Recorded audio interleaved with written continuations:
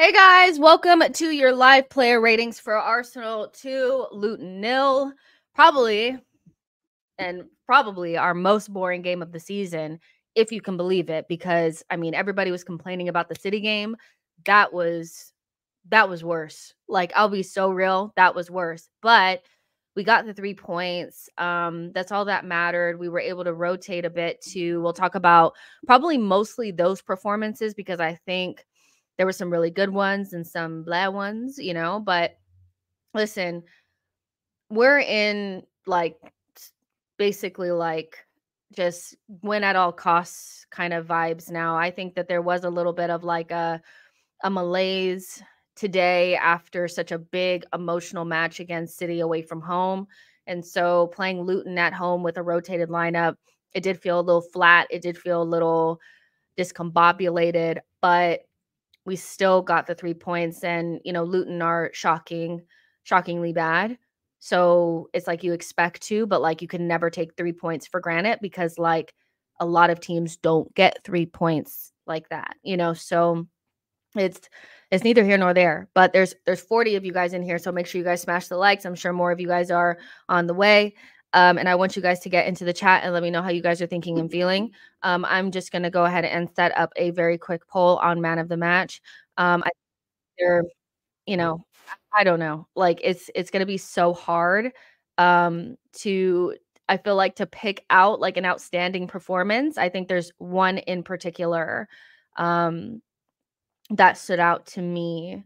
Um, and so yeah, but we'll definitely um talk about it but was that boring? I mean we just we just handled business the way that we needed to. I mean not every game can be exciting. I'm struggling to find a third a fourth person. Um I, i'm just gonna put this person i don't care. Uh you guys will vote and you guys will tell me what you what you think. Okay so skill says first half was fine second half terrible. Um Tawana says uh, basically Odegaard got the winner winning goal anyway, so man of the match. Um, Solomon says a good performance. Mr. Happy says same. Some of our players got rest. Um, C says uh, ESR was good, but probably needed to come off sooner. It looks spent. Um, and maybe that's just like a little bit of trying to like get his fitness going. You know, I just I wonder if that maybe be like that that might be a little bit of it because you know, he was definitely like dead on his feet at about 60 minutes, you know. And then after that, um, you know, he was kind of like done, but maybe like you have to push through so that you can gain a little bit of that fitness. But I will say that his performance was probably the most sparkly of the of the day. I think that he underlined a good performance, which if he didn't get the assist, I feel like maybe would go under the radar a little bit more. But you know how goals and assists just kind of like underline a performance and give it almost like a little bit more of like um, a legitimacy. I feel like that's what happened with Emil. Um, and I, I thought that he was probably he was our best performer kind of like in the first half and then he tapered off in the second but he still did a lot of good things so yeah well done to him Alistair Ben says second half was just an energy saver mode O'Malley says uh, Reiss Nelson could have been any player in the Prem. He had no personality, never went 1v1. Tawana says we should have scored three minimum. You what says Trossard played left back better than Zinchenko. Um, Jacob says Nketiah and Nelson were bad. Um, Skill says Nketiah time to go to the championship. Uh, Lucas says nine wins and a draw in 10.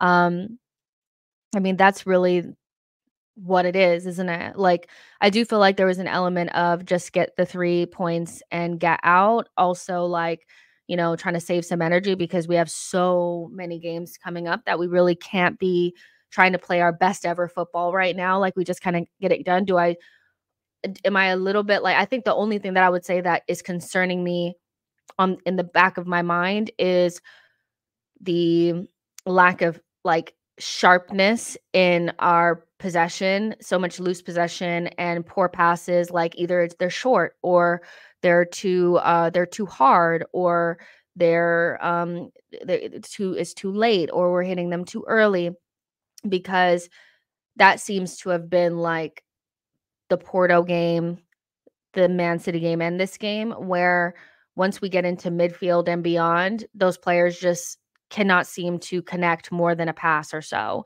Um, and also, like, we played so much of the second half in our half. It just it reminded me of like 2021 Arsenal where we were trying so hard to play out from the back that like as soon as like as soon as we got into midfield around the center circle, we gave it up and then boom, like back, you know? So um personally like I think that it's um personally I think that like we were trying to do too much. That was like the first of all, we were trying to do a little bit too much. And um we as like we didn't have enough quality in midfield or enough quality in our forward positions or forward players to like hold the ball up because like genuinely I haven't seen us play in our half that much since like well, I mean, we played a lot in our half against City, but we had all the ball, but we're still sitting in our half. So, yeah, that was annoying, right? So, yeah, I'm seeing some, you know, conversations being had about Zinchenko. Um, I think he had like I'll be honest with you, I think he had a very typical Zinchenko performance where he did some good things, but he's so he I, you could tell he's like thinking so hard about being good defensively that he almost like f's it up anyway. And I just found like him to be a little bit ponderous on the ball and trying so hard not to give up the ball and be bad in in, in defense that he ended up being bad in possession in some moments and being bad in defense. Like he was like almost overthinking it. And so he had a mixed bag of a performance, but he still hasn't played enough minutes for me to be like, you know what I mean? Like he's not sharp. Like he's not sharp, and neither is Partey. So they had mixed bad bags of performances. I think Partey was better than Zinchenko, but Partey also had moments where it was like, yeah, like you definitely need to like get up to speed. But him playing the majority of the game gave Rice a moment to rest, gave Jorginho a minute to rest, uh, which is good, you know. So it is what it is. Um, Android says, um, I was disappointed to hear the crowd sighing on misplaced passes in mass. That negative energy will be noticed by players and affect their confidence. You know how the Emirates is. If you've ever been there, maybe you like Android phone, you may have not been there, but once we get into like a difficult scenario like we're we're just waiting for history to repeat itself and like i can only imagine that you know, Orbino had put out like a tweet right before the game saying, This is when we crumbled last season. You know, we had a really good game against like so and so away from home, and then we just started dropping nonsense points, right? Um, and so I think that there's just like a little bit of that. And then we had like a really rotated lineup. And to be honest, like the performance from the players was really flat too. And so I think all of that just combined to like a really maybe like disappointing atmosphere. But if the fans don't decide to like be the 12th man when we really need them, like sometimes they can really do it and other times they just like really just don't engage and so we're not going to like we don't have very many games to be flat and like it not matter to the players and stuff like that, right? Cuz I'm just like to look at our games. I keep forgetting who we have next, but um we have um Brighton away, so we don't have to worry about it. But then the next game is at home in the Champions League. I would expect them to be like home in the Champions League against Bayern with no Bayern fans in the stands. You need to be up for it. Um, Arsenal at home against Villa, you need to be up for it. Um, home against Chelsea, you need to be up for it. So um, there's chances to redeem themselves, but I think it's always like a combination of the players being flat and not playing well, and then the fans taking on the nervous energy, and then boom, like it's just like a nasty cocktail. So, yeah, everything about today's performance was like incredibly flat, but we just kind of have to get the points right now. Like we rotated, and we're just not really, we're not, we don't have the players that come off of the bench and like really make solid plays for like it's so obvious who our starting players are. It's ridiculous. Like there is no like and I just don't think that like players coming off of the bench feel motivated to put in these performances and or they cannot put them in. So, you know, and I'm like when I'm talking about like I'm not talking about necessarily like Zinchenko or Partey. I'm talking about like Reiss, Emil, Fabio, these guys like they know they ain't starting, you know. So it's like you know so it is what it is. Uh, Sam says we weren't great today, but I love that we got the three points. Agreed. Nick also says it was heavily rotated. comma people. I I'm kind of like it was rotated, and I I, I don't I don't love you know uh, like when we rotate because it's like we just drop off of a cliff. But today at least we got the points, you know. So it is what it is. Samuel says uh, Zinni was making very risky passes. I don't think he's good enough to play the rest of the games. Um, the American brother says Brighton next. Um, Brett says, I can't believe I'm going to say this. We have a winger problem. Gabriel Martinelli, Saka Nelson uh, falling away at the wrong time. Um, let's see. Um, yeah, I think uh, uh, you have a uh, have a little bit of a point there. I think. I mean, we look like a team that hasn't. I would just say in general, I feel like we look like a team that hasn't really invested that much into our attack. And so we have a bunch of striker options. None of them are clinical. And then our wingers, we don't have enough pace. We don't have enough individual moments. We don't have we don't have enough of that. And so when they fall off, even just by like 10%, it's very noticeable. And so, yeah, like we have like a Trossard that's kind of like in between, like he'll have like an amazing performance and then like a really dull performance.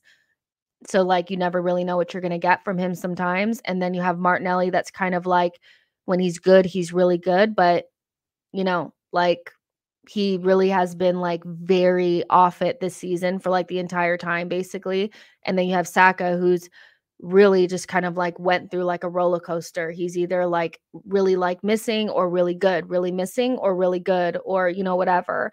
So um yeah, we need to buy a winger. Like we need to buy a winger, we need to buy a striker, we need another midfielder. It's very obvious what we need um, because there's a lot of onus on Odegaard to be our main creative person, and we don't have enough technical quality in our midfield at times, like to thread the pass through.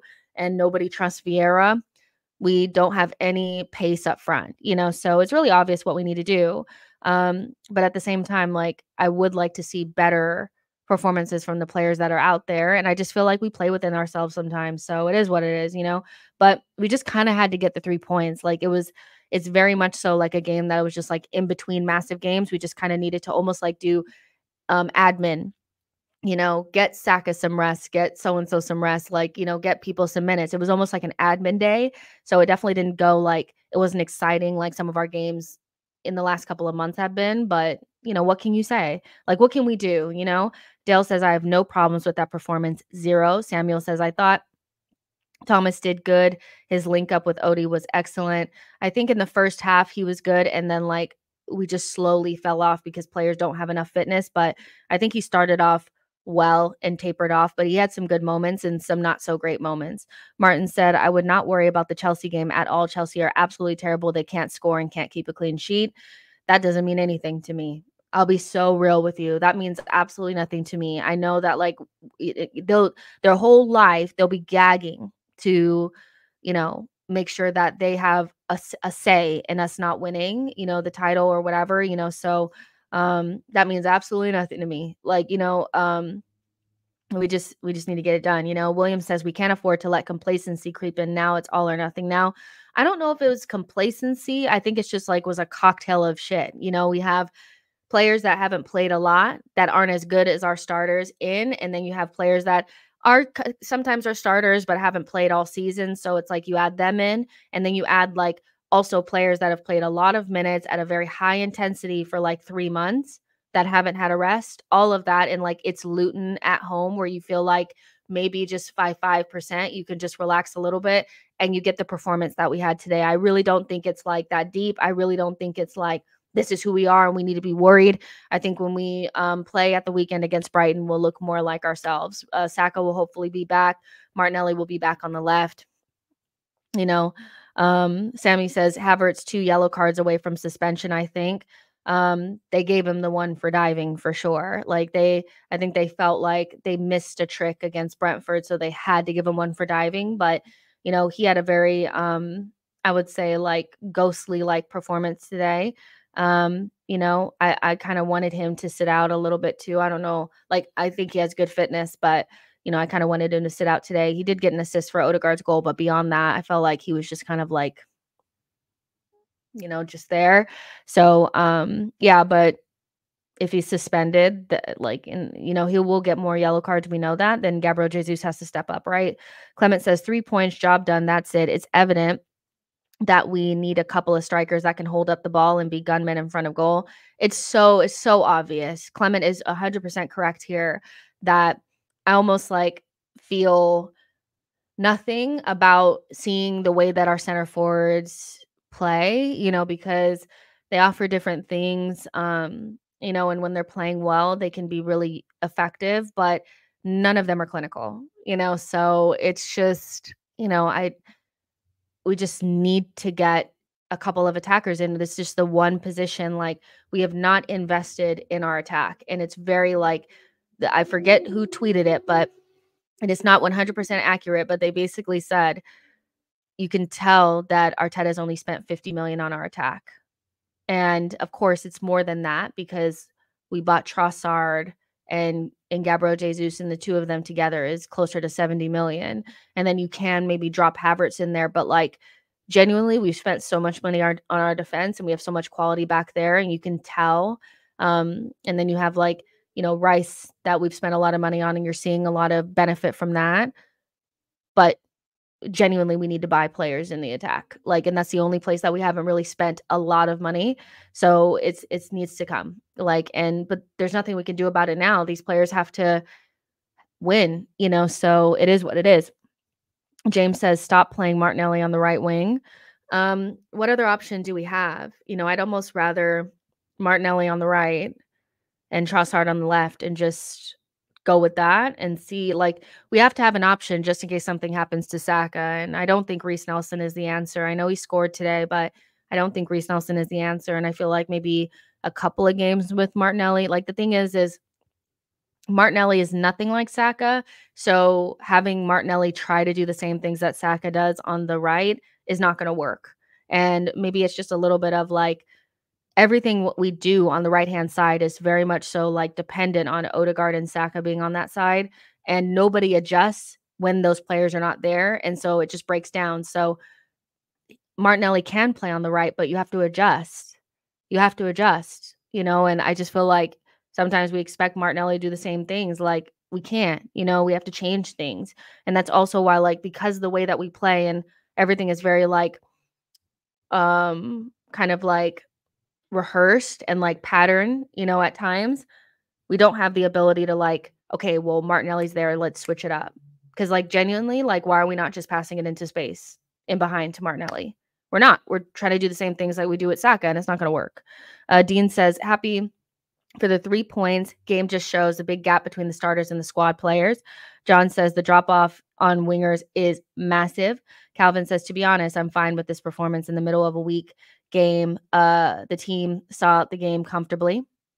Um, yeah. Uh, pseudonym says if Odie gets injured, we're fucked. I mean, we are like there's just certain players that we just yeah, there's certain players that if they get injured, we're done. And Odegaard is one of them. Um, so yeah. You what says, uh, oh man, City just got three. Uh, City just got three one over Villa. Villa you know, Unai Emery, it is what it is. Uh, Yo Yo says, so glad these players got minutes. Surprised by some of these complaints. What were people expecting? I feel like what people were expecting is probably something that they cannot do. Um, it just depends on how you feel about these players, right? Because um, I have much higher expectations for Zinchenko and Thomas Partey than I do for Emil and Reiss. So I didn't have very high expectations for them to like look like Saka or look like Martinelli or play like them. I was pleasantly surprised by Emil's performance, but I still feel like he's firmly on the bench. Like, and there's no question about it. He is not knocking on the door, and neither is Reiss Nelson. Um, and the other two just need more minutes. So it is what it is. I mean, I think some people just like have a very like um maybe inflated vision of like what some of these players are and I don't think they're they always perform as well as they can, but I also feel like there is like a, a true gap there and it is what it is. You know, we won the game and it was pretty comfortable and we got guys some some rest and it is what it is. But yeah, Reiss Nelson and Emil Smith Rowe ain't taking no starting position. They're not even close. Like, you know, so yeah, it is what it is. Uh, Blue says I expected Jesus on the right, to be honest. Maybe he'll play against Brighton. I would imagine that uh Jesus is in line to start maybe against Brighton or you know cuz this was out of this week this game was the less difficult of the games that we have right so we went super strong against City then we went much weaker against Luton and we did the same thing I forget what game week it was but we had like Nottingham Forest in the middle And so we play like, or Sheffield or something like that. And Emil started that game. And so what I would imagine happens is that when we play against Brighton, we'll go a little bit stronger than we did today. And then against Bayern, we'll go to our strongest, strongest. So um, this was the day to really like rotate, you know? Um, Sam says uh, Brighton will be tough. Uh, we need to be very strong. We can't rotate. I think we we can. Um, I think we can rotate just a little bit, um, but not as much as we did today. Uh, Lucas says, looking at stats, Brighton play well against Brentford. Um, Clement says, uh, Foden oozing with that hat trick. You know, um, he was like totally missing in the game against us, and then turns around and you know and and that's the one thing that i'm kind of waiting on from like one of our players is to have like a hat trick day or you know a game where they just kind of like carry us into you know from like a difficult in a difficult game you know um and i'm still kind of like waiting a little bit you know um we're gonna play against like villa and we're gonna play against these teams and i'm just looking for somebody to like really step up that's like not a defender you know like basically one of our attackers like when is one of our attackers gonna like come up with something special? Um so yeah um taking Haaland out of the man city 11 always makes them look better by the way. So i'm not surprised that they're playing better without him. Saida says nelson was very disappointing. He looked a lot more a lot better against liverpool in the cup in my opinion. Nelson's just not good enough. Like he needs to be he needs to be moved on. Like um he's 24 and he's very much so like not on the level that we require. And you know so i'm not really that surprised at his his performance i just i don't know it's like well if Reiss Nelson gets some playing time i'm like he had a magic moment against bournemouth but for the most part like he's just not he's not it you know so i'm not surprised that he didn't have that big of an impact. I mean, he still scored a goal, you know, so it is what it is. Pseudonym says, let's talk about let's let them talk shit up on Saka. Just don't take the bait. It's all they can do. They're rattled, reach desperately. The only I guess the only thing I would say um about the Saka Foden thing, because we know that Saka will be like basically trending now because Foden scored a hat trick in the run-in, is that um Saka just needs to respond. Like, you know, it's it's one of those things like for himself. Like I know Saka is a really good player. Like I'm not really that fussed about it, but you know, uh they'll always ask questions when the questions aren't being answered and I feel like you know, this is the run-in and this is usually the time where in the last two seasons where we probably were the most disappointed in Saka um because he hasn't really like taken it by the scruff of the neck, right? And so he's injured right now and he's not even in the team. But whenever he comes back and if he's fit and ready to go, respond, you know, have a hat trick day, you know, carry the team, you know, do something, you know. So yeah, games in the in the run in are definitely more heavily weighted than games just before that. And so what we're like a game or two in, and he's missed one and played pretty poorly in another. So, you know, it's up to him to respond. You know, um, Foden is a great player. It is what it is. Yo-Yo says this game just confirms that certain players will be expected to start two out of three games a week, and other players will be required to come in consistently as subs. I mean, as we know who we can trust now, I feel like this is a good tester, but I feel like things will be more set in stone unless we get some major injury crisis or something like that. We can trust Trossard and Jorginho mostly and Tomiyasu um, as like that's probably like our 12th, 13th, and 14th player um, that we can trust. We probably have one more in there like Zinchenko if he were to get sharp. But everyone else, um, Fabio, Emil, Reiss, um, Fabio, Emil, and Reiss, and Eddie. Those four. Um, you just don't really. There's not. There's nothing there really. And the worst part about those three, um, or those four, is that they all play in advanced positions, which puts a lot more pressure on Martinelli, who's had a tough season, on Saka, who's dealing with injury problems, on Odegaard, who's being asked to do a lot anyway. Um, you know, so we really just don't have the numbers up front and neglecting our attack always kind of comes back at us when we're in stressful situations. So like we go to the Etihad and and are super blunt, you know, we you know what I mean? So it's just one of those things, right? So yeah, I like we we kind of know who we can trust. Tommy um the main ones that we can trust are Tommy, Trossard and Jorginho.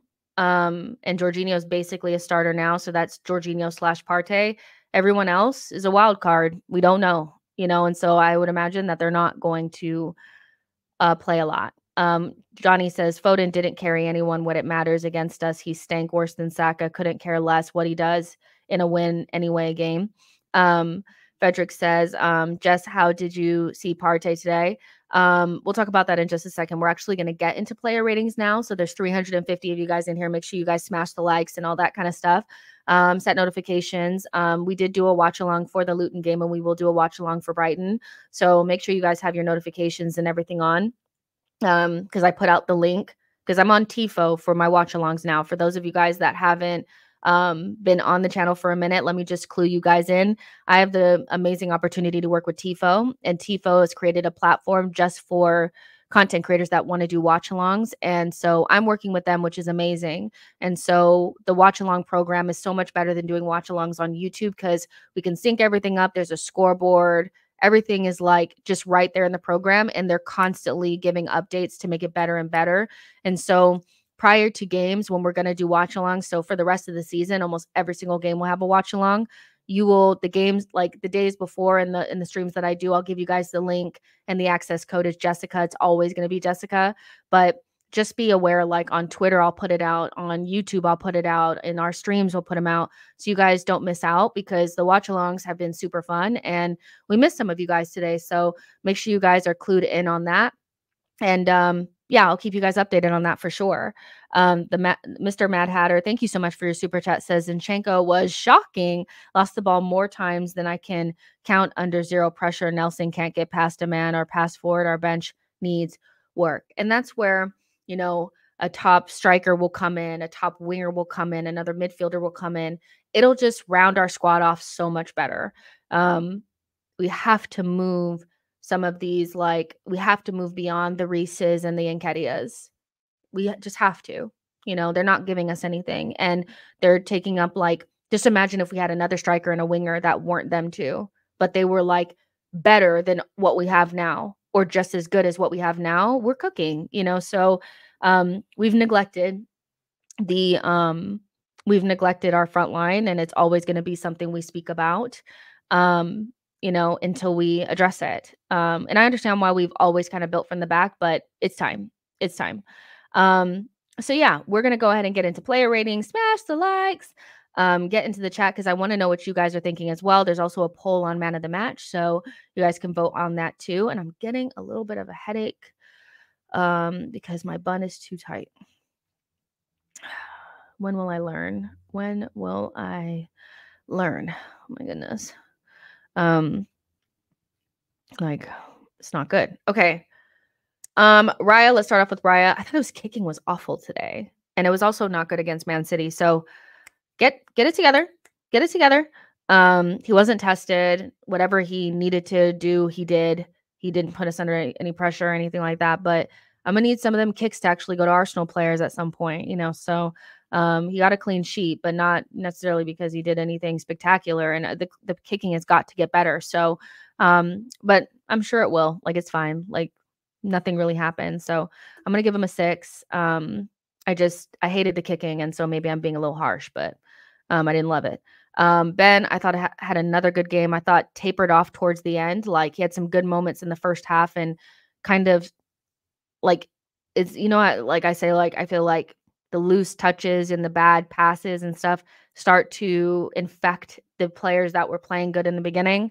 I kind of felt like that happened towards the end. Like towards the end of the second half, we were really poor, um, you know, on the ball. And I felt like Ben kind of got mixed into that. But early on in the game, he was one of our better players. He was sweeping up things really well, heading the ball back to Raya cleanly.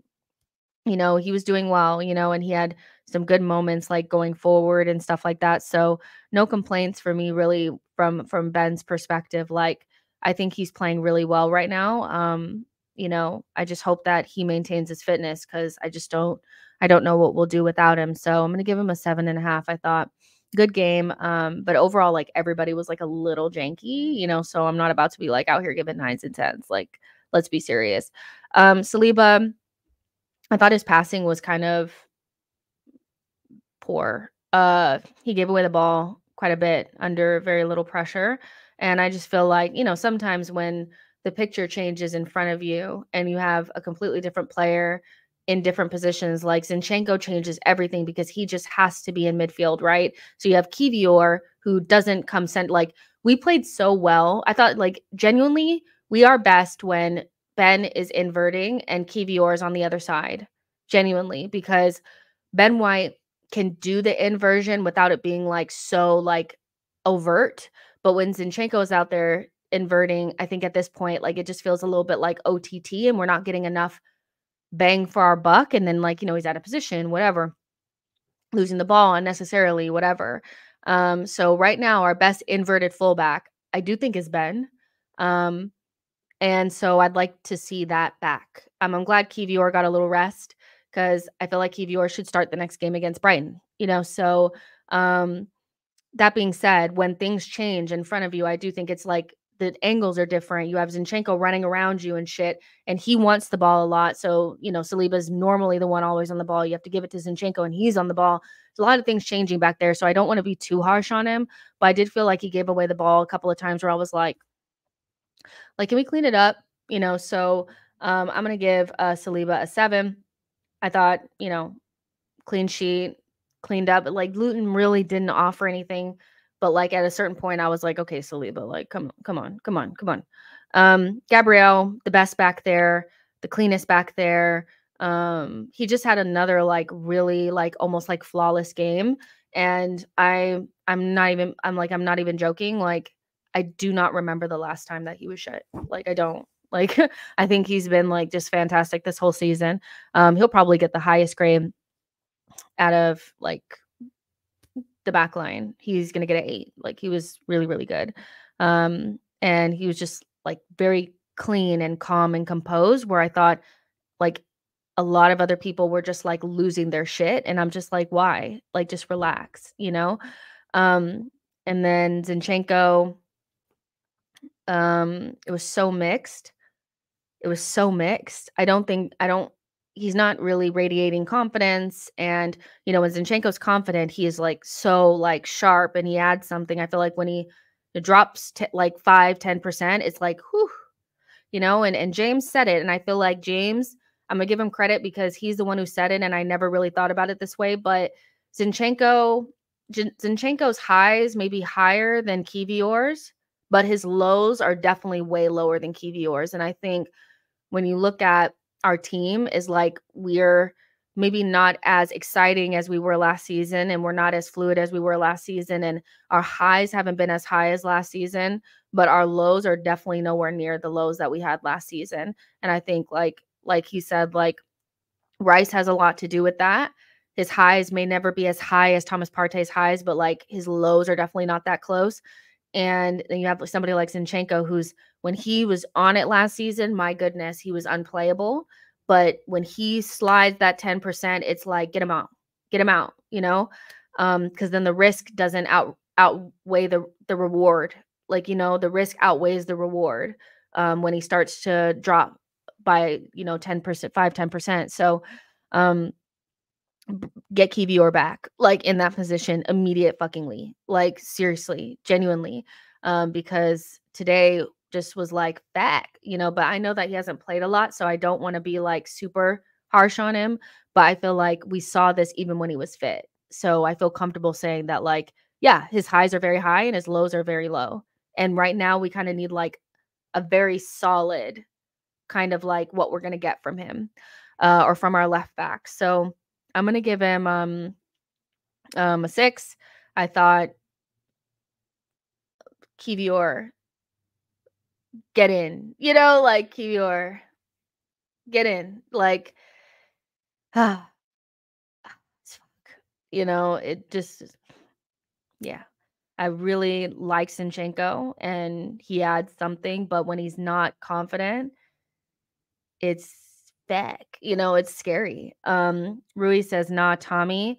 Um, yeah, I don't know. Like, I feel like I like Tommy a lot. Um, but our best period genuinely was when Kiwior was there. And I want to believe that it's because Kiwior was in there. I do think Kiwior is more he's not as stiff as Tommy. Like Tommy, when he's in attacking positions, can be a little heavy footed and you know, and I think Kiwior has like a little bit more like about him. Tommy is a much better 1v1 defender, but Tommy is a better 1v1 defender than everybody but that still doesn't mean that he's the better all around player. So for me, it's Kiwior until otherwise, because even Tommy is not fully ready, I don't think, you know. So yeah, it's Kiwi for me. Uh, the guy says Ukrainian Andre Santos sell him. That's not nice. Uh, JJ says smash the likes, people. 356 here and only 147. Like exactly, exactly. Because um, yeah, I'm about to look at this right now. Oh yeah, these likes are nowhere near as high is not high enough. It's not high enough, guys. Why you guys doing me like this? You guys know you're liking the content. And we're just like, we're like about halfway through. 146 likes and 343 of you guys watching. Make sure you guys are smashing the likes. It's a free, like painless way of supporting the channel and helps, you know, the channel grow and more of you guys get here, you know. So um yeah, help me out. And I'm looking at the man of the match so far, and Odegaard is like landslide, um, really with 50%. So there you go. Um, Marco says, I'd give Ben a rest and play Tommy and then Kiwior at left back this weekend. Yeah, you could do something like that. Like, I wouldn't be opposed to, I think there's still an opportunity to lightly rotate in some positions, like one or two positions at the weekend. Um, I would say, like, you know, maybe like hopefully Saka's ready to go, but like Saka comes back in, Martinelli plays on the left, Jesus plays through the middle, give Kai a rest, you know, get our our midfield back of of Jorginho and Rice and Odegaard, or maybe, you know, start Thomas Partey if that's what you want to do. I don't really care. Um, and then drop in Tommy on the left or Tommy on the right, let Ben rest, and then bring Kiwior back in. Yeah. Um, so yeah, somebody said change the change the thumbnail. Um, oh yeah, the thumbnail. I forgot to put Luton's um thingy on it. My bad. You're right. Hold on. I wish it was 2 nils. Um hold on. You are so absolutely correct. Thank you for for catching that. Um I'll I'll do this right now. Thank you so much. I really appreciate that. Um, I knew I forgot something. Look at me making mistakes. But you know what I meant though. oh man. Okay, let's see. Edit. Let's drag a new thumbnail in here.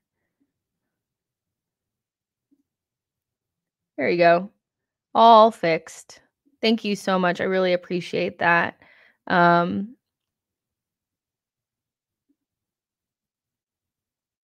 I don't okay. Maybe it's maybe it's not gonna let me.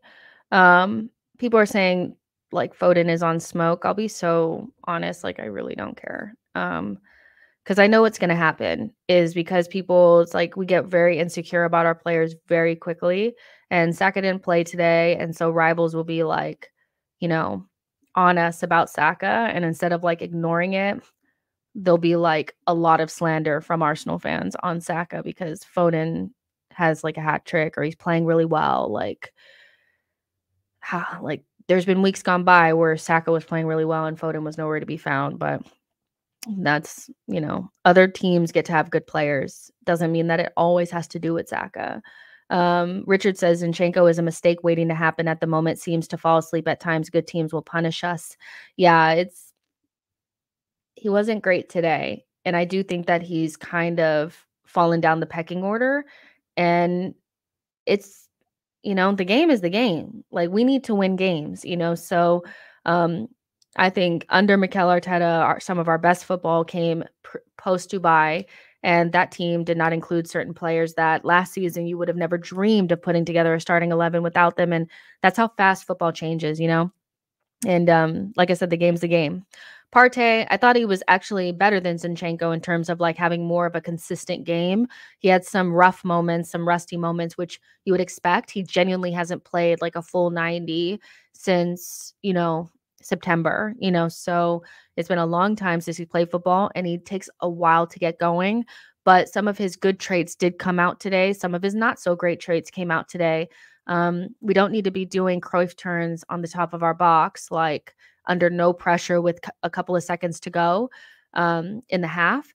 Uh, I feel like when when we learn, like you don't have to do that. Like be more aware, like because we gave away like a dangerous free kick right after that. And luckily, Luton are like one of the worst teams on the planet, but like another team could punish you for that. So his good things shown, his bad things shown, but ultimately, like I do feel like as the season goes on, Arteta will use Jorginho at times and use Partey at times. And so it's important to get Partey minutes and a couple more minutes in the tank, you know, which is which is a good thing. He played against City. He's played today. He started today. And so it'll be interesting to see who he chooses for Brighton because that's going to inform, I feel like, who you play against Bayern. So maybe you go with Partey against Brighton and you go with Jorginho against Bayern because we Bayern are not about to run past you. They're not about to run past you, but Jorginho also like has been more of a reliable player for us in big games recently than Partey. So, and I don't think Jorginho can play away at Brighton and then turn around and play um against Bayern, right? So we're gonna need both of them, and they both serve very similar and different purposes. So, yeah, I thought that uh, Partey had some good moments. He almost scored. Um, you know, and if he's playing with, you know, Saka and maybe some of the other players, like it'll be better. Um, I just feel like you lose a lot when you don't have like Sack out there, so there's nobody to find in between the lines there. Odegaard is having to drop deep. Like there's just a lot of stuff was not as clean as it usually is. So I'm gonna give Thomas a seven. I thought he was good, had some mixed moments, but ultimately, like he did good for a player that hasn't played a lot of minutes, right? And you have to keep that into consideration. Um, so yeah, uh, Nico says I'd start Georgie at the weekend and Partey against Brighton. Jamal says Emery did not have a good evening. Um, fuck Emery, and they better they better roll over against us at the Emirates. I just feel like they'll play like shit against City and then turn around and like play as hard as they fucking can against us. Like, be serious. Um, Martin N says seven for Partey. Uh, says as uh as they're both available. I don't care who starts. Um, Jules says Partey did well for the second start. Hope he gets more time against Brighton. We gonna need him in the run in. Every game is a final now. Um, Onan Frederick says if Partey is back, Georgie holds bench. It's simple. Not if he's not fully fit. And again, like I just feel like people are being incredibly disingenuous about what Jorginho has done for us in this time. Like he hasn't just stepped in and done a job. He's been man of the match and player of the match in big matches for us. So he's like he's kind of like genuinely an option to start big games. And Partey is genuinely an option to start the lesser big games. You know, every game is massive, but like you need cool heads and you know calm minds and things like that in games like this too. So experience, temperament, all those things are going to come into into consideration. So um to me, like I'm I'm really not about to disregard some of the things that Jorginho has done. He has not just done a job. He's been fantastic in a lot of our games, you know? So um yeah, I think Partey was good. It's fine. But like let's be serious. Let's not go too far. Like James is from the first half, Partey was way better than Rice. You've gone way too far. And um, the main reason why Partey looked good was because Luton are also terrible because our midfield looked like I could run through it. So let's not be let's not be crazy. Rice has been one of our players of the season and should not be disrespected. I don't care what you're smoking. I don't care like anything. Like Partey and Rice are so different, but Partey stops like Rice stops things from happening before they happen. And you guys don't like a lot of you guys don't actually care about stopping things from happening and being on the front foot and and being sound of mind all you care about is a cute pass here and there if somebody genuinely does a nice pass in between the lines you will genuinely love that more than somebody stopping us from getting ran through so what rice does is just not really recognized or cared about by like a very large section of the fan base and genuinely start Partey in a game, like a big game by himself as the lone six, and see if we survive that game. We won't. Rice stops so much from happening. You probably want both of them playing together because they play off of each other. But let's not sit here and pretend like Rice has been a bum and Partey, like as soon as he came, like all of a sudden the, the skies opened up and the rain stopped. Let's not. KDB ran right past Partey the other day. And don't say it's because he wasn't fit. Okay. So you went too far. He gets a seven. He gets a seven.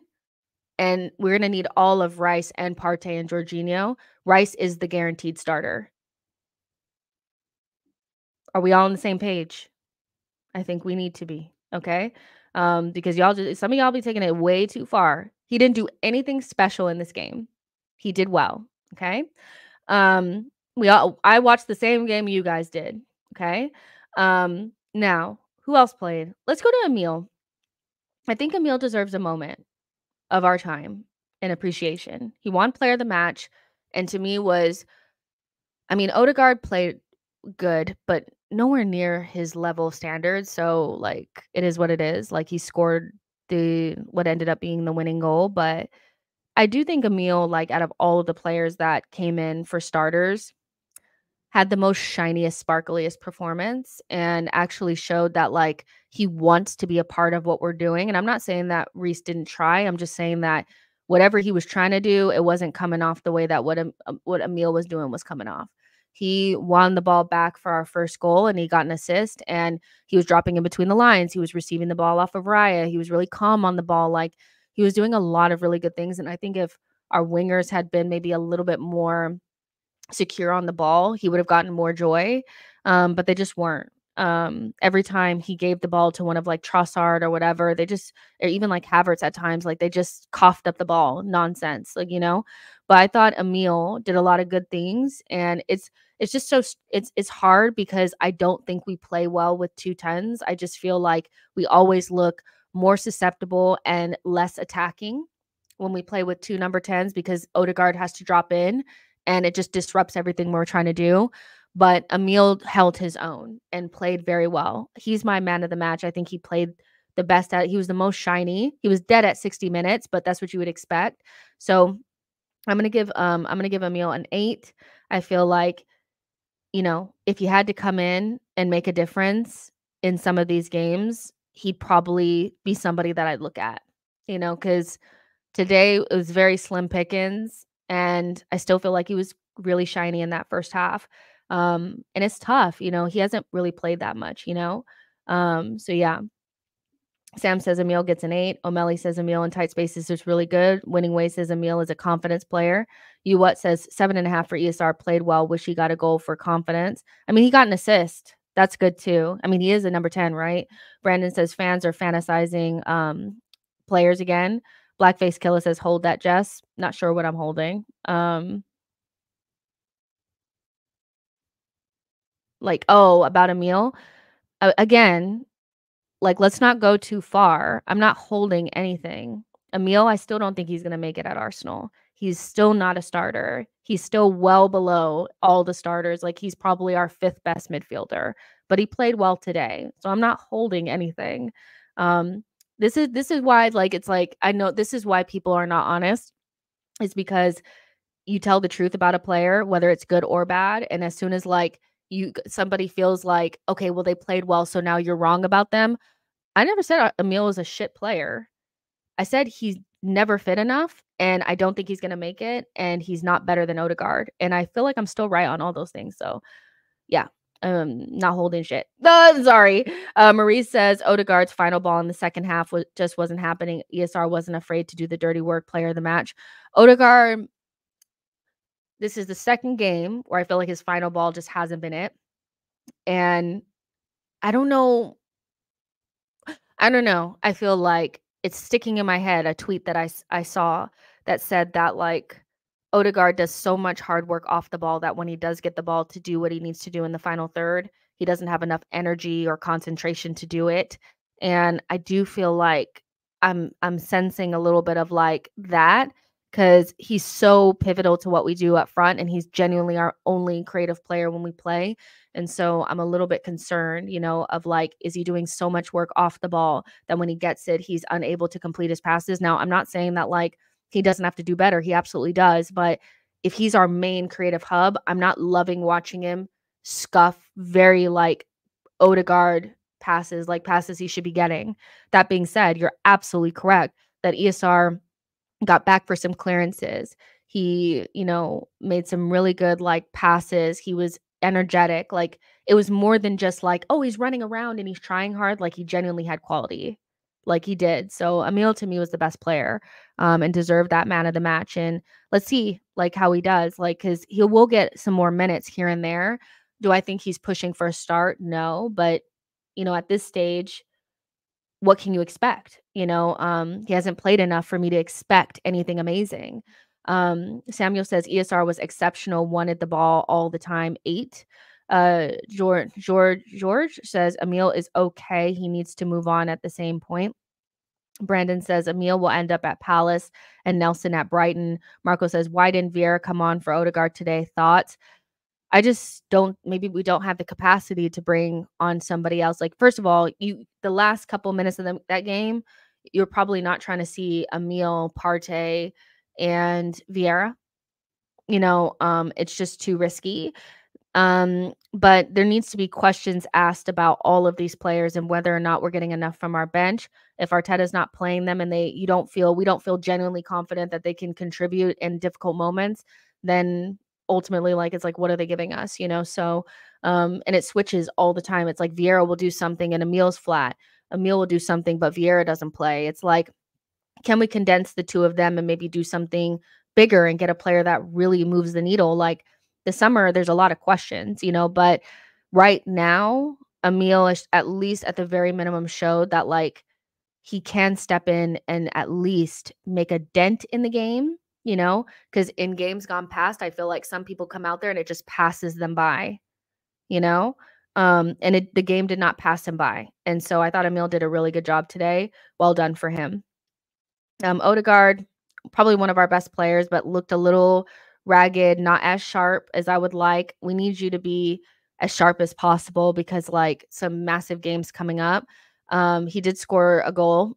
I expect him to score goals and get assists. You know, like that's who he is. Like even when he's not playing that well, he can come up with a moment to get us something. Like even when we played against like Porto, he came up came up with the assist, right? Um, and the off the ball stuff I expect. I just I'm hoping that we switch it on back to the sharp that we were at pre the international break. He played a lot of minutes in international break. He played his fucking ass off since, you know, Dubai and he hasn't really had a break, you know. So um, I'm hoping this isn't any sort of fatigue because, like we were just talking about, there's absolutely nobody that we can bring in that we feel confident is going to be able to do it the way that he does. He does so much work in there that I would be so like gutted if like he kind of fell off of like his his his uh his form right now but he's still playing well you know just not his tip top best you know but he'll probably find a second wind in there. Um i'm gonna give him um i'm gonna give him uh, i'm gonna give him like a seven and a half like it's luton and they're shit i expect us to beat them and score goals. His overall game was good but not great you know so it is what it is um, and then we'll move on to the front line. But I want to hear what you guys are saying. Travi says, I think Trossard can play the Odegaard role. Via says, good three points. We have we have to keep it up until the end. Come on, you Gunners. Big up, Jess. Big up to you as well. Uh, Diehard Gunner says Odegaard was man of the match. Rui says Vieira should have come on to give him a rest for Brighton. That's easy to say. I mean, I feel like you can only have one of Emil or him out there at one time. So maybe Vieira does something against Brighton away from home you know, um, and comes on from there or whatever. But um, I just feel like there's just so much that Odegaard gives you that like missing him and Saka is a lot. It's a lot because we we felt even a bad Saka missing today. Even Saka, the way that he was playing against City, would have probably still been better than what Reiss was doing today. So I just, yeah, I don't think that we were in a position because Saka was already gone You know, so let's see how we we maneuver things um for the next couple of games because we need to be as good as we can possibly be against Bayern in a couple of days. So whatever we need to do to get there, maybe that's giving Vieira some minutes against Brighton. Uh, Sir West says, not in this game though. I am a, a little bit concerned about Jesus' game. I sometimes feel like he is slowing us down. And Winning Way says Odegaard Wirtz next year, hopefully. Um, yeah, the um, Jesus will will play against Brighton. I have a feeling for that. Um, I think he will. Um, because Kai, I, I do think needs to sit out for a game. I do. Um, I think he needs a little a little moment. Um, because he's played a lot of football nonstop too. Uh, you know, so maybe Jesus starts that game, like I said. Saka hopefully is ready to start that game. Martinelli starts on the left. Um, maybe you, I mean, you can't drop Odegaard. um, I just uh, like you, you just have to hope that you score a lot of goals early and Vieira can come in later because child, I just don't, I don't trust it, you know. So we'll see. Um, let's see. Um, we'll go to the front line now. Um, it's weird. I'm like trying to go to Saka, but he didn't play. Um, Reiss, you scored a goal, but it was just whatever. Like genuinely, if he did not score, it'd be pretty low. Um, but you know, he scored a goal. He ran around a, a bit, but it is what it is, guys. He's just not. Is is it even worth like really going into? Um, he's just not good enough, you know, for us right now. Six and a half. So, um, um, I know people were saying it was an own goal, but like, let's be serious. Like, he was right there and had the guy not like Reiss Nelson would have got it if the other guy didn't get it, you know. So he he did he was there for the goal. Okay. Um and without that, it would be an even worse goal or a worse score. So I'm gonna give him a six and a half. You guys are cold. Like he was right there. And it, you know what's so funny is we've had Gabriel be stripped of goals before because it was considered an own goal, and you guys were not. He wasn't score. He didn't score. It was an own goal. You guys are only doing that because it's Reiss. He was right there. He he. Come on, like get like we're already gonna give him a low score. We know he's not good enough. We can at least be honest and be like, okay, he was right there for the goal. He it was going in. Um, so I'm to give him a six and a half. Um, there's really no reason to go into it. Beating down on a player that we know should have been gone 5, 10, 9, 15,000 years ago doesn't really, it doesn't really fill me with any joy, right? Uh, Trossard, um, I thought had a mixed dish type of game, but did some good things in the first half. Um, you know, uh, you know, Trossard was was Trossy. Um, we just really didn't create a lot um, which is shocking, but whatever. Um, get a pre assist, you know. Um, I'm gonna give him um, a seven. Thought he was good, you know. Um, nothing to write home about. Um, is definitely our third best winger. You know, um, it's Martinelli and Saka, Trossard. Like you know, so it's it's yeah. There's not a lot there. Um, and Havertz, um, you know, got an assist, but really didn't offer that much. Um, he passed, it was short. He passed, it was too long. Like his touch sometimes can be like very frustrating. Um, you know, got a card for diving. They couldn't wait to give give that to him. Um, I don't think he did he have any shots. Like maybe I think maybe like one shot. Um, it was just like a really whatever type of performance from him. And maybe Jesus should start against Brighton, not because I feel like Jesus is going to be like a million times better, but maybe Havertz needs a little break. Uh, so I'm going to give Havertz, um, I'm going to give him like a six and a half. Um, no, yeah, six and a half. Um, the assist was like just like a fucking layoff. Like, other than that, it was just like whatever. Like, very blah performance. Um, Rotimi says um, Kai was a seven. Um, Sam says Trossard was an eight. Samuel says Trossard had an up and down performance, six and a half. Um, Die Hard Gunner says Havertz was a seven today, created a nice goal.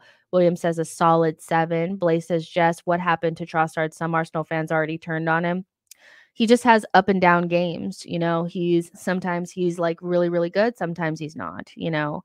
Um, I think it's just that. And then once you like, if you ever like, once anybody suggested that Trossard should start over Martinelli, which there were times that he should have started over Martinelli because Martinelli was in um, like abysmal form. Once that happened, then people just completely. There's certain players in this team that like, if you even suggest that they should be dropped, it's like the player that you wanted them to play in front of is like dead. You know, so ever since at the very beginning of the season, like I did, and a couple of other people suggested that Trossard should have started the season because Martinelli was poor in preseason. He didn't look fully fit, and Trossard was playing out of his skin during preseason. It was like they every time Trossard made a mistake, it was like, see, see, see, he shit, he shit, he shit. So it's like that's just what it is. Like Martinelli is very much so protected, and he's a great player, but like he's really like we're still waiting on him, you know, to have like a game, you know. Um, Brandon says, Am I the only one that thinks Arteta is holding Trossard back? He was way more explosive at Brighton.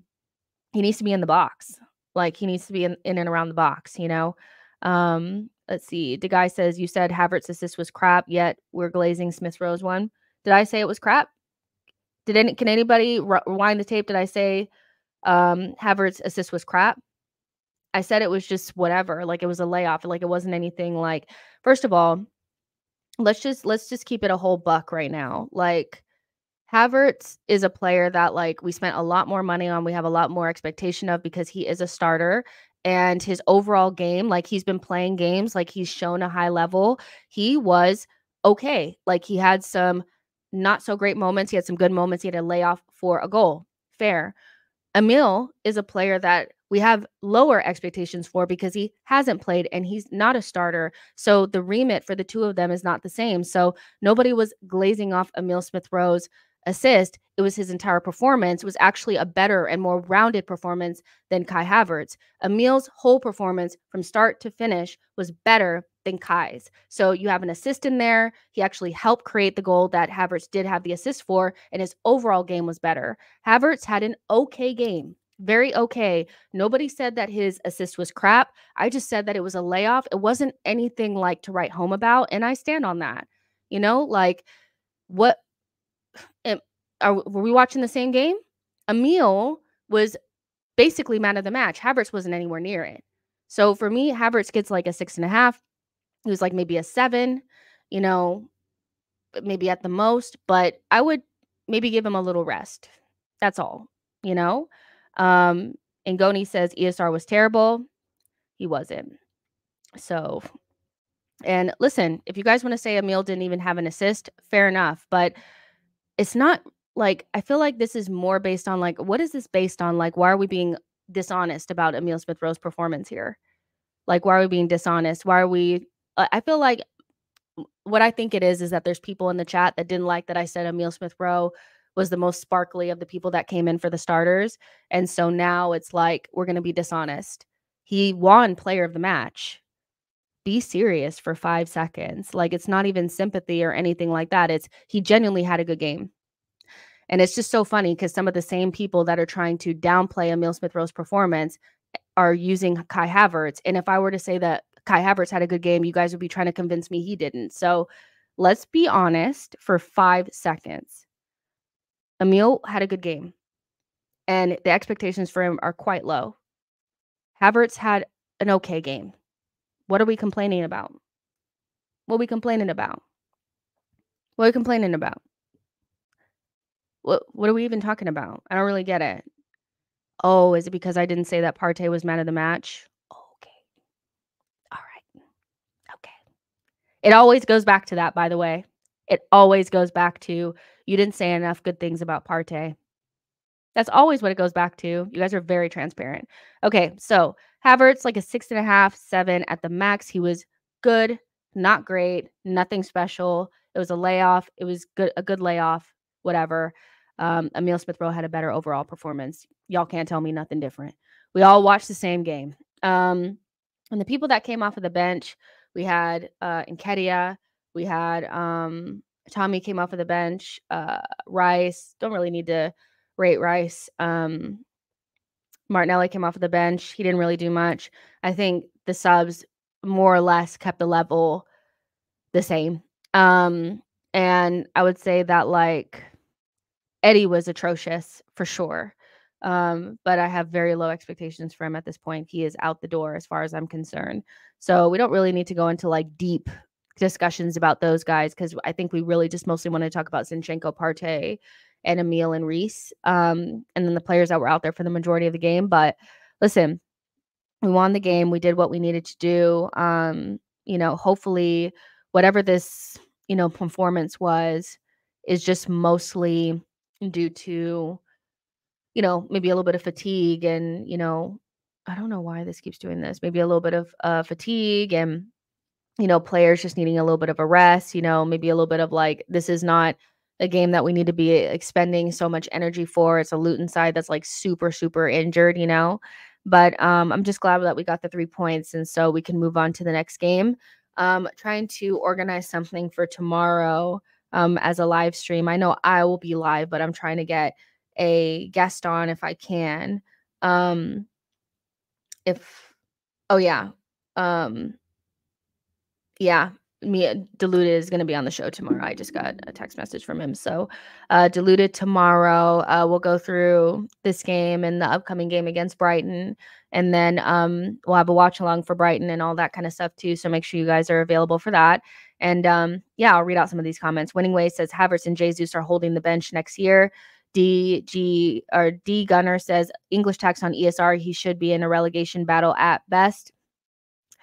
This is so funny. Um, let's see. Adrian says, I love the rotations and how most of our players are healthy. Everyone was hungry defensively. Defensively, we are great. You know, everything else is like, uh, we just know where we need to invest, right? Um, it's so obvious. Um, James Bond says, um, don't ever speak bad on Partey again. Now you learn, Jess. What did I learn? I didn't learn anything. Maybe I missed the class. Maybe I didn't show up. Who's the teacher? that I didn't learn anything. All caps too. You guys will never learn. He was good, nothing special. You guys are really egging it on badly today. But um, I knew as soon as he started playing minutes, you guys would do this, and this is super funny. But um, yeah, I didn't. I, I wasn't at the lesson. I didn't show up to class today. Winning Way says Ross Barkley shouldn't be at Luton. A good player. Um, he was he played deeper against us and like I felt like maybe if he had somebody else, maybe I guess it was Sambi. If he had Sambi in midfield with him, he could have done a little bit more like going forward. But yeah, no. Um, let's see. The guy says, Jess, love to see your face when we see Smith Rowe at Palace next year. This is like a really funny tweet, uh, a uh, really funny uh, message because anybody that knows me, like I'm considered an Emil Smith Rowe hater. But the problem is I'm honest when people play well, even if I don't think they'll make it at the club. So yeah, um, I will not be like devastated or egg on my face if Emil goes because my opinion has always been that he's not going to make it at Arsenal. So again, you guys don't listen. You're so you're so busy trying to propel Partey into something that he's not that you're taking on this Emil hate for no reason. I don't think he's going to make it at Arsenal. You're not you're not saying anything. You're not y'all ain't doing nothing. Y'all not doing nothing. Like this is so funny. I actually like this. Um, let's see. Um uh I'm trying to see if there's any more comments that I need to read. Um you what says the days of Arteta cramming in Nketiah are are done, thankfully. Um, Rui says this was complacency for me. Anton Dunn says Eddie was not atrocious. Martinelli was if anything, both of them were, but Eddie was not good. He came out there and he fouled at least three times. He he did absolutely nothing of note. His touch was awful. Um, Martinelli was all right. Um, so yeah, winning way says ESR has to be the first number 10 I see not score in two years and hold bench in football history. Um, yeah, I'm not head of the Emil Smith Rowe fan club, so he's all right. Like, you know, he I thought he played well today doesn't change anything. And that's the thing. It's like one game and one performance often doesn't change the trajectory of a player's career and often doesn't change the overall opinion on a player based on like a large amount of data. So Emil having a good game against Luton doesn't change my mind about him being somebody that's not going to make it at Arsenal. So I haven't changed my mind. I also think Partey needs to be moved on. So nothing that happened in this game or the last game or anything has changed my mind on any of that stuff. So, um, but I'm also not going to lie about their performances. If I thought they played well, I'm going to say that I think they played well. And overall, I think both Emil and Thomas Partey played well today, um, despite my overall opinion on them. You know, so JJ Ash said subscribe and like people and show uh, she knows football. Thank you so much. And JJ Ash also says big up. Our beautiful Jess keep smashing it. I really appreciate that so so much. So you guys, I'm gonna go ahead and get out of here. I have more work to do with this tight bun. So make sure you guys like, subscribe, all that kind of stuff. And I will see you guys tomorrow um, for a show with Diluted. Bye guys.